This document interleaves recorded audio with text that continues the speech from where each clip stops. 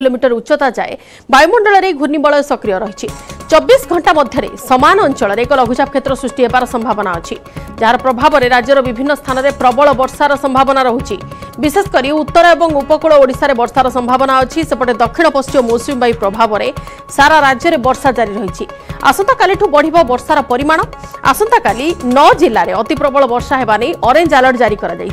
সেপরি ছবিশ তারিখে সাত জেলা অরেঞ্জ ওয়ার্নিং জারি করা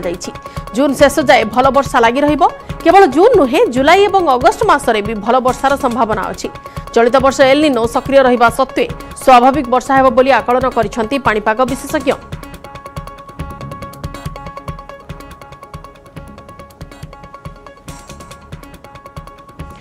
আগামী চবিশ ঘণ্টার লঘুচাপ সৃষ্টি হবার সম্ভাবনা রয়েছে সক্রিয় ঘূর্ণিবলয় প্রভাবে লঘুচাপ সৃষ্টি হব এবং এর প্রভাবে বিভিন্ন স্থানের বর্ষা হওয়া নিয়ে সূচনা মধ্যে মিলুছে বঙ্গোপসাগরে লঘুচাপ সৃষ্টি হয়ে পড়ে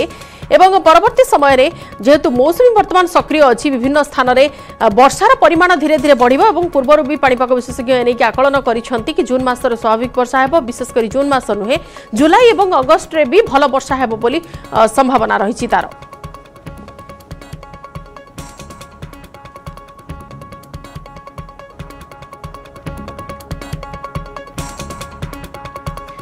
ଉତ୍ତର ପଶ୍ଚିମ ବଙ୍ଗୋପସାଗର ପାର୍ଶ୍ୱବର୍ତ୍ତୀ ଉତ୍ତର ଓଡ଼ିଶା ପଶ୍ଚିମବଙ୍ଗ ଉପକୂଳରେ ସକ୍ରିୟ ରହିଛି ଘୂର୍ଣ୍ଣିବଳୟ ସାତ ଦଶମିକ ଛଅ କିଲୋମିଟର ଉଚ୍ଚତା ଯାଏ ବାୟୁମଣ୍ଡଳରେ ଏହି ଘୂର୍ଣ୍ଣିବଳୟ ସକ୍ରିୟ ଅଛି। ଚବିଶ ଘଣ୍ଟା ମଧ୍ୟରେ ସମାନ ଅଞ୍ଚଳରେ ଏକ ଲଘୁଚାପ କ୍ଷେତ୍ର ସୃଷ୍ଟି ହେବାର ସମ୍ଭାବନା ରହିଛି ଯାହାର ପ୍ରଭାବରେ ରାଜ୍ୟର ବିଭିନ୍ନ ସ୍ଥାନରେ ପ୍ରବଳ ବର୍ଷାର ସମ୍ଭାବନା ଅଛି।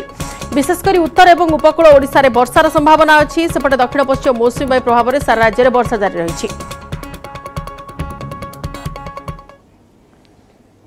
ପରବର୍ତ୍ତୀ ଖବରକୁ ଆସିବା। ଇଜିପ୍ଟ